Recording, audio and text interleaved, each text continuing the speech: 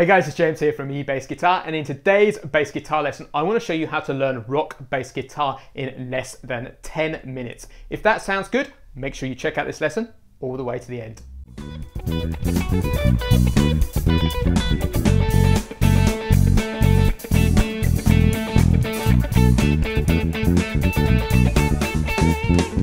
Hey guys, it's James here from eBassGuitar and I specialize in helping beginner to intermediate bass players. And last week we released a lesson called How to Learn Walking Bass in Less Than 10 Minutes. And that lesson got some incredible feedback and we also got some requests through to make it into a series. So today's bass guitar lesson is called How to Learn Rock Bass in Less Than 10 Minutes. So let's have a listen to what we're going to be working on today.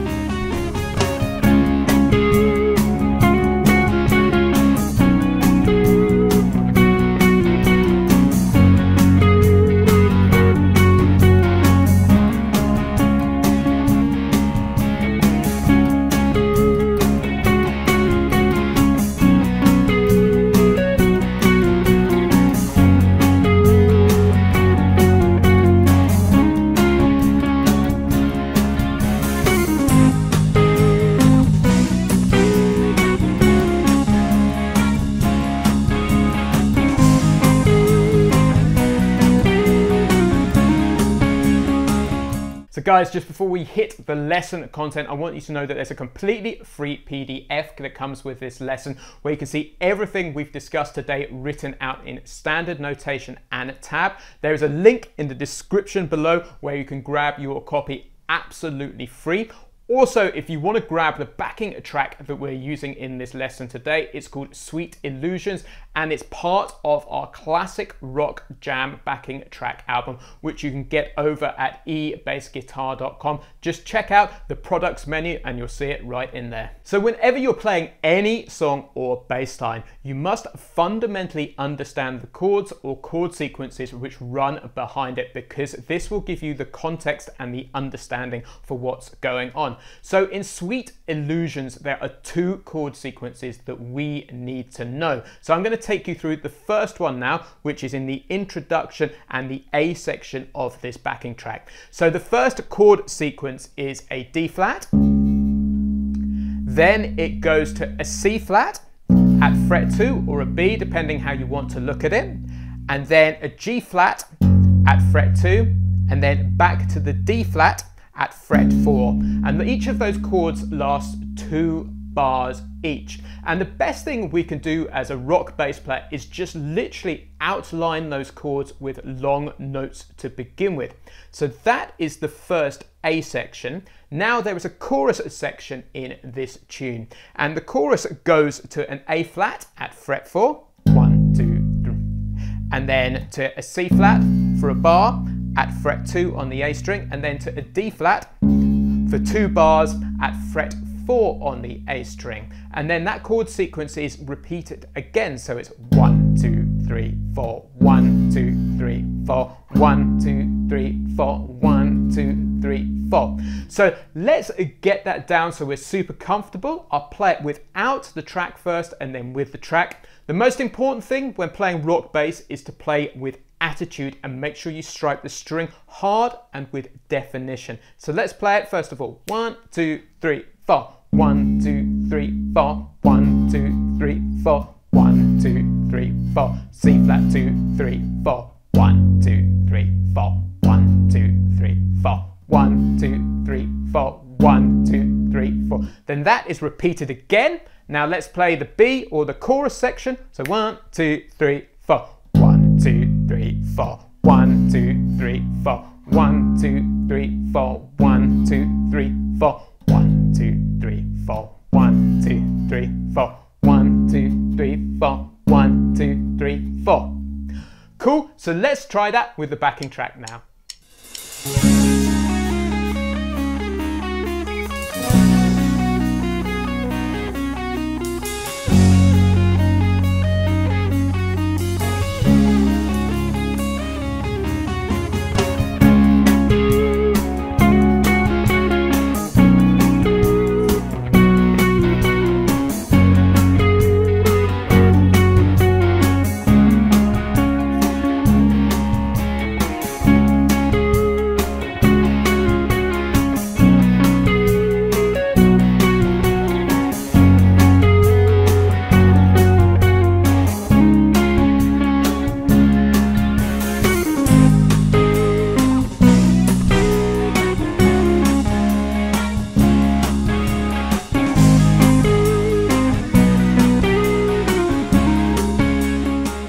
Now, believe it or not, as a bass player, you are 100% doing your job there just by simply outlining the chord sequence. But the chances are you probably want to push this on a stage now and add some rhythmic interest.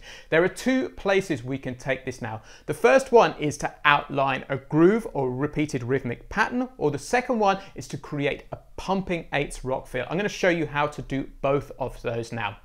Let's start off with the groove. The best place to find the groove is to follow the drummer's kick drum or bass drum pattern. And there are two patterns that are going on in Sweet Illusions. The first one over the A section or the verse is this standard rock feel. So it's one, two, three, four.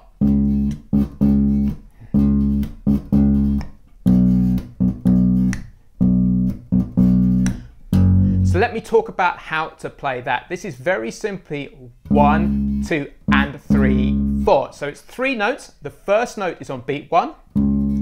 The second note is halfway through beat two. So one, two, and three, four. And then the third note is on beat three. So it's one, two, three, four. One, two, and three, four. One,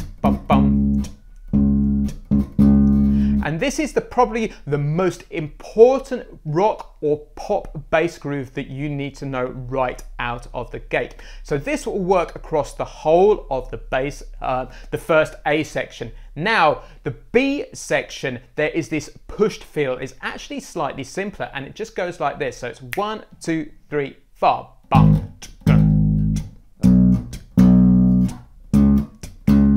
What it's doing is generally following the rhythm that the whole band is playing. So it is just like this. So it's beat one, and then the second note is placed on beat two and. So one, two, and.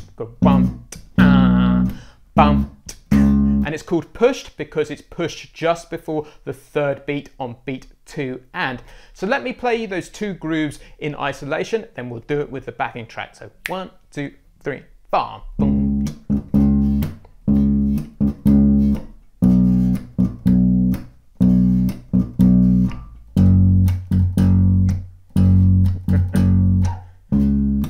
The chorus now.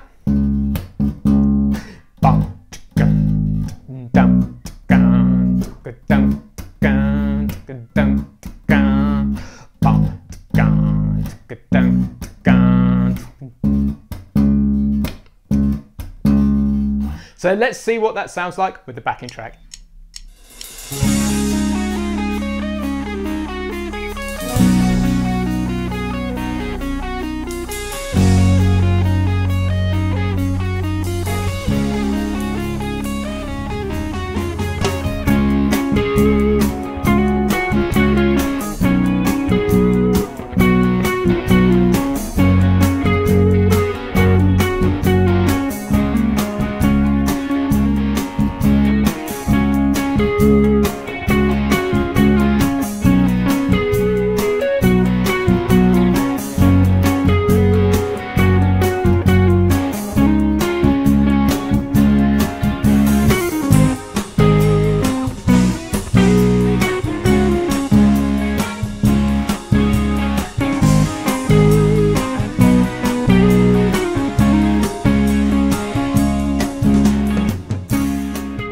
So the other most important field you need to know how to play really well as a rock bass player is the pumping eighths groove. And this is very simply this, one, two, three, four.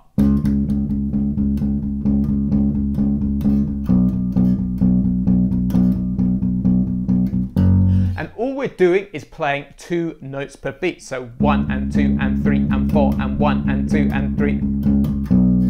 But this needs to be consistent and we need to try and aim to have all of the notes played long and we need to play with attitude with our right hand. Often beginner to intermediate bass players can struggle getting the alternate fingering going on here. So what I suggest you do is start off by just playing one note per beat to begin with, but really long. So it sounds like this. One, two, three, four. One, two, three, four. One, two, three, four. One, two, four. One, two, three, four. One, two, three, four. One. And make sure every note is placed on the first finger. So try that to begin with, and then to start speeding it up and adding in the eighth notes is to go one, two, one, two, one, two, because you'll always know that the notes which are on the beat are on the first finger. Because what often happens is bass players get themselves in a bit of a muddle by going with like one, one, two, one, two, two, one, two, by not doing strictly alternate fingering. So that is the trick to making the pumping eighth groove really work. So let's play it again. One, two, three, farm.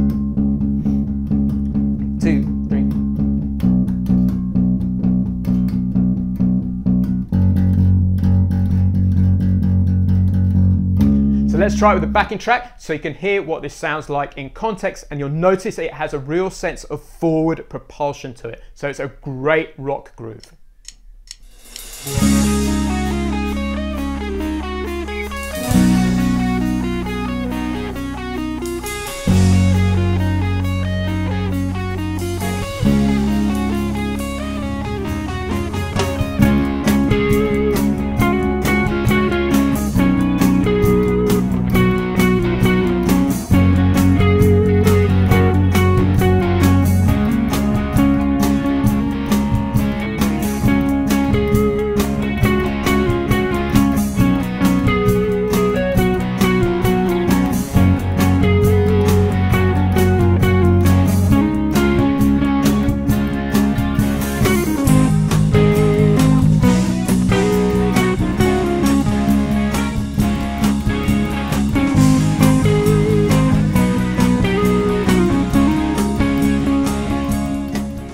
Guys, if you're enjoying this lesson, make sure you jump over to ebassguitar.com and check out the Bass Lab Plus. The Bass Lab Plus is my private members training program where I teach beginner to intermediate bass players how to play the best bass guitar of their lives. So if you've always loved bass or perhaps you're returning to bass after many, many years off or you found yourself playing bass because there are too many guitarists in the band, this is a program which is going to teach you all the skills you need to play a great, great rock bass. So fundamentally, the program is easy to understand and will allow you to make progress really, really quickly by giving you just the most important information you need. So I urge you to jump over to ebassguitar.com and check out the Bass Lab Plus. You can join free today with a 14 day trial. So, so far we really have covered the foundation of how to play great rock bass guitar. So if you're pinning down the chord sequence, playing a great groove or playing a really consistent pumping eighth notes feel, you have a great foundation But the chances are you want to push this on a stage further. So let me give you one quick idea before we finish this lesson. The next most powerful note we can add into our rock bass lines is the octave. So if I put down the D flat here, we have an octave sitting directly under our hand using this L shape here. So two uh, strings down, two frets along like this. And this octave shape appears all over the neck. So what I'm going to do is I'm going to add in the octave to the bass lines that we've already discussed earlier. So on the groove, what we're going to do is we're going to play the note which is on beat two and up the octave. So what we end up is with this pattern. So one, two, three, four. One, two, and three, four. One, two, and three, four. One, two, and three, four. One, two, and three, four. One, two, and three, four. One, two, and three, four. One, two, and three, four. One, two, and three, four. And when we hit the chorus or B section, what we're going to do is this. One, two, three, four. One, two, three, four. One, two, three, four. And put the second note up the octave. You can try this also with the pumping eighths feel as well. There are loads of ideas that you could do like this.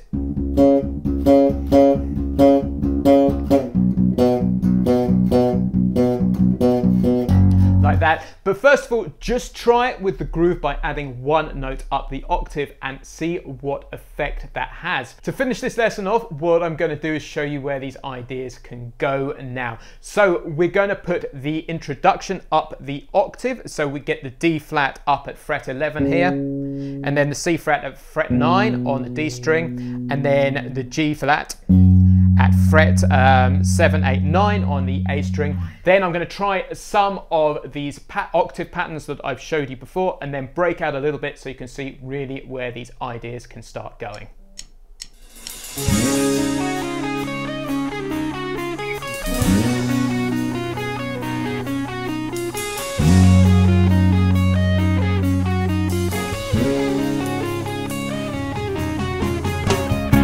So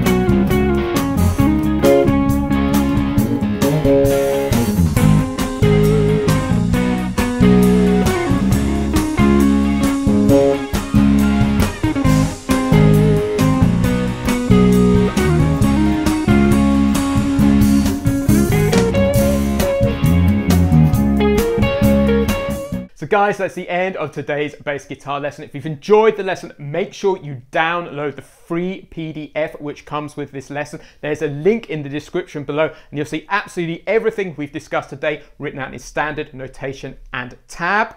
Also, if you're looking to push your bass playing onto that next stage, make sure you jump over to ebassguitar.com and check out the Bass Lab Plus, where there's a full, easy to understand program for the beginner to intermediate bass player. You can join free today with a 14 day trial. Cheers, I've been James from ebassguitar.com.